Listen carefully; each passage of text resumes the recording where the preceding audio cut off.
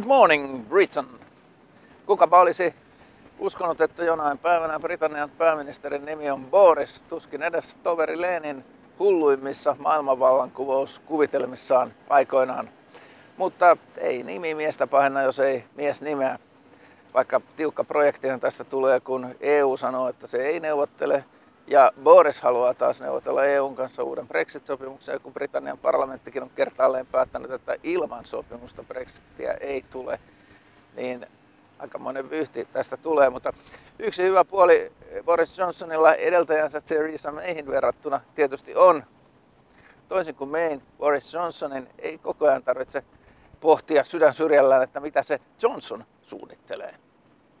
Sinänsä asioita saattaa tietysti hiukan monimutkaistaa se, että nyt Euroopan unioni jää elokuuksi lomalle ja brittiparlamentti Johnsonin esiintymisen jälkeen lähti sekin lomille ja palailee asiaan vasta syyskuussa.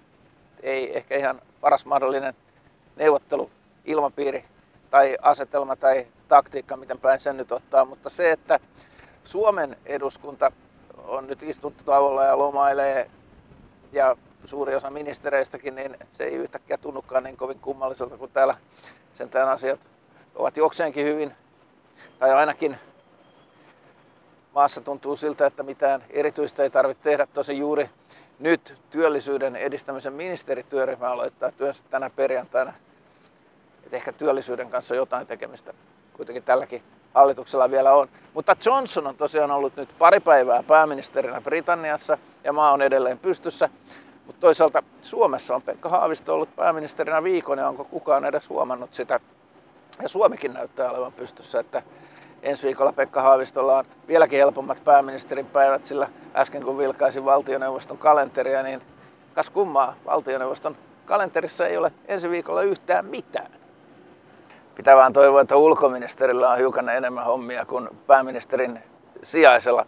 Mutta lomaillaan nyt sitten kuin kaikki muutkin ja hellettä kerran piisaa, mutta sen yhden kaverin kanssa tekisi mieli vähän keskustella, nimittäin siis sen, joka keksi, että pidetään kansallinen saunapäivä vuoden kuumimpana lauantaina, että miten meni noin niin kuin omasta mielestä.